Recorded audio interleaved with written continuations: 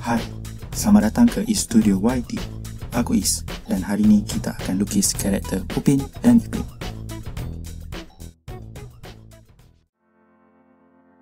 Selamat datang ke siri Mari Lukis di mana aku akan cuba lukis karakter-karakter kartun dari dalam negara dan luar negara dalam style lukisan aku. Dan hari ini adalah episod pertama Mari Lukis di mana aku akan melukis karakter Upin dan Ipin yang merupakan watak-watak utama dari siri animasi Upin dan Ipin. Sekarang aku sedang membuat lakaran asas dalam software Clip Studio Pin di mana aku membuat lakaran menggunakan pensel untuk menghasilkan bentuk badan dan gaya pose untuk karakter Upin dan Ipin.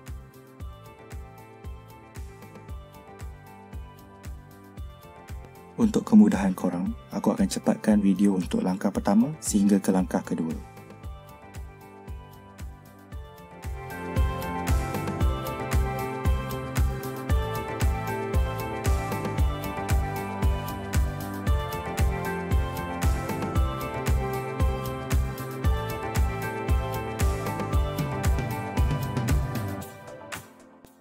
Sekarang, setelah selesai lakaran asas, kita akan cuba melakar secara detail atau terperinci di mana aku akan lukis seluruh muka dan badan Upin dan Ipin.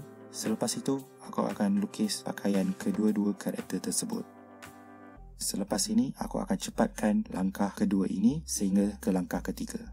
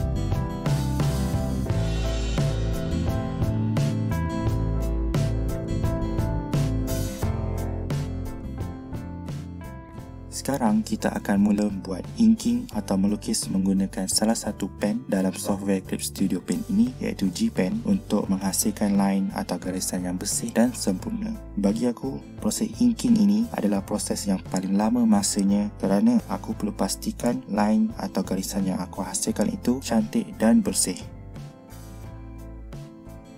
Bagi pendapat aku, aku suka menggunakan G-Pen kerana kita boleh menghasilkan line yang tajam dan tebal menggunakan jenis pen ini.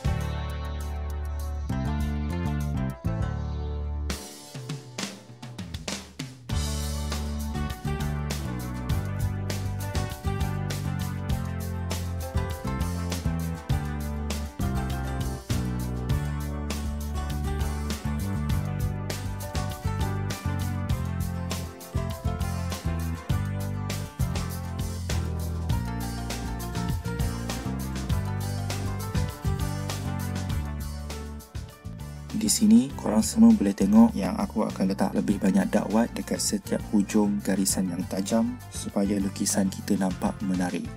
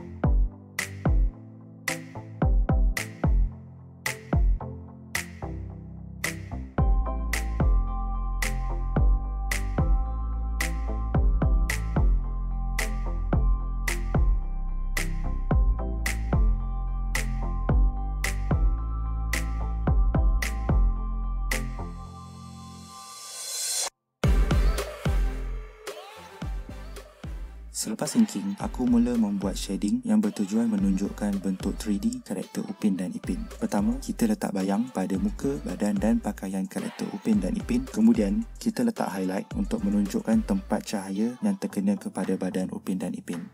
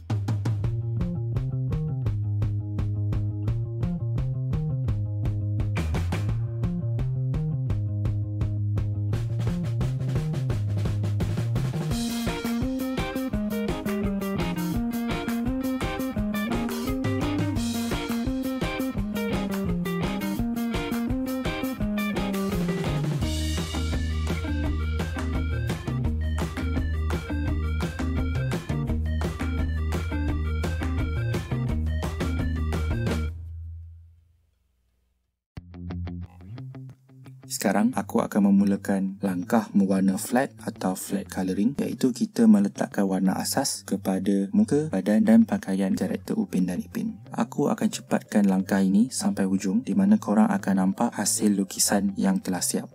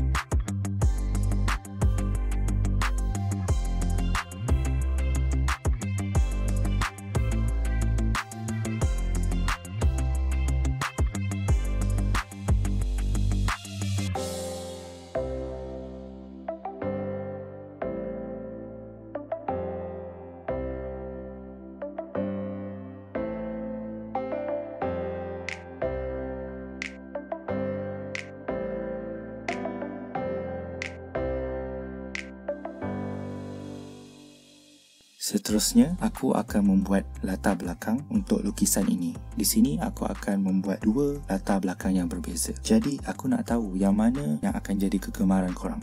Sekarang, aku sedang membuat latar belakang yang pertama.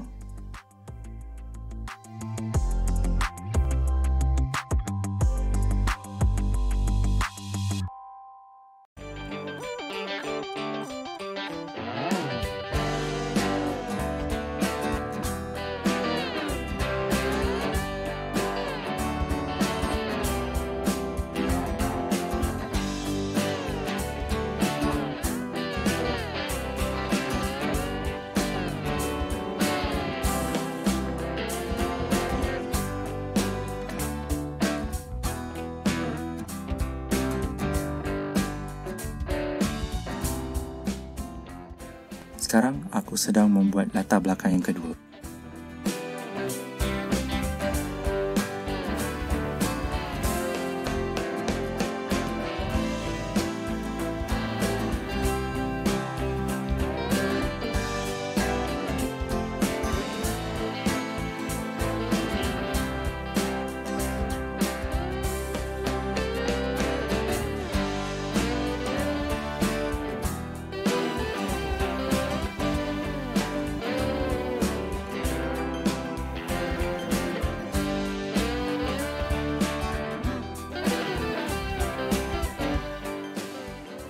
Dah selesai lukisan Upin dan Ipin kita. Jadi, aku nak tahu yang mana kegemaran korang. Upin Ipin dengan latar belakang pertama atau latar belakang kedua. Jadi, komen pilihan korang di bawah.